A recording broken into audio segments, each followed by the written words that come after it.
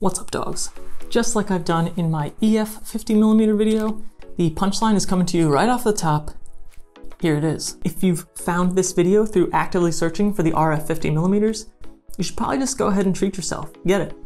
Go ahead and buy the lens. You'll use it, you'll like it, and if not, there's plenty of new photographers coming to the RF system that would take this off your hands for $150 in the coming weeks and months. I've watched a ton of videos about this lens to augment my personal experience with it so that you didn't necessarily need to.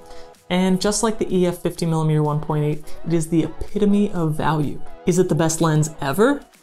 Of course not. We're talking 200 bucks. But is it good, compact, lightweight, and sharp enough wide open at the glorious 1.8 that you otherwise might struggle to acquire with another RF lens because they cost so much damn money? Yes, yes, yes, and no. Just kidding. Four yeses, four yeses. Now my name is Dan and blah blah, intro, intro, whatever. Need you to subscribe if you like this one, my dogs. Trying to trick 1,000 of you to join the Dan Yosua Creative Army, and we're on our way. Build quality. I find it ever so slightly humorous when people give minutes of airtime to discuss the build quality of this lens. It's plastic, there isn't a ton of metal, and it's not weather sealed. Canon even combined the focus ring with the function ring. It turns super smoothly and I use it for ISO, but the one quirk to note here is that when you shoot manual, I think you have no other choice but to explicitly check manual focus in the menu system. That's a downer, but if you're largely auto-focusing, then just set it to function and forget it. Maybe we'll get a 50mm f1.4 version soon, one that has two separate rings, is slightly larger, and has better build quality. But until then, that's all we're going to say about the build quality on this lens. Image quality. Continuing our fast and non-technical review for beginner and intermediate photographers in the Dan Yosua Creative Army, the reason to get this lens is because you're getting a cheap lens that's sharp in the middle, wide open, and it delivers on that promise. If you're familiar with the EF version, it's performing about the same, though if there is an advantage on the RF, others are saying that the better image quality in the center extends farther across the frame than it did on the EF version. I don't currently have both to compare side by side in person, and while I genuinely appreciate that others are pixel peeping and sharing their findings, I think it's a bit of a moot point with this lens. And that's because the RF version is so much more compact than if you were to use the EF version with the adapter and it costs about the same price as you would pay for the EF version plus the adapter. If you can find the EF version super cheap, secondhand off somebody, then fine, I'll allow it.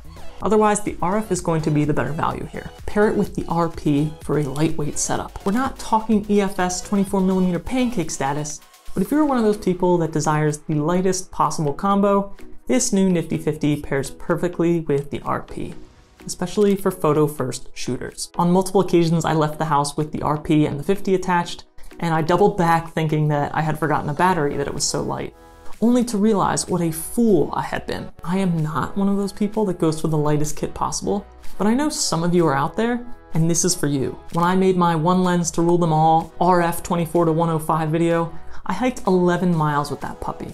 And let me tell you, I would have been happier hiking with this 50mm attached instead. Perfect entry. Given how versatile, affordable, and compact this 50mm is, I think it's the perfect pairing with the Canon RP to jump into the Canon RF lineup.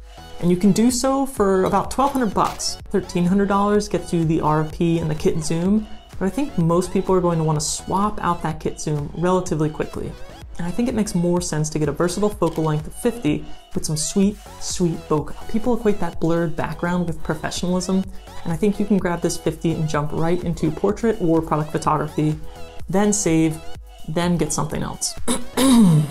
so, why didn't I buy this? Like the 800 f11 Super Telephoto, I rented this cheap, and due to my red ring daydreaming, I also haven't ruled out looking at the big boy 50mm. If I end up skipping that, I'll eventually pick this up. In the meantime, I have the 35mm macro that has ended up being my main moneymaker. I try to be really intentional about the number of pieces in my kit, and until I solidify plans for my own personal future roadmap a bit more, I'm holding off on a buy right this second. $25 off any rental with my code below, and leave a comment what should I rent and review here next. Last thing, there is a price difference between these two, but if you can only get one lens in order to keep your kit simple, your two most similar options are the 50mm and 35mm. Let's go ahead and compare those now.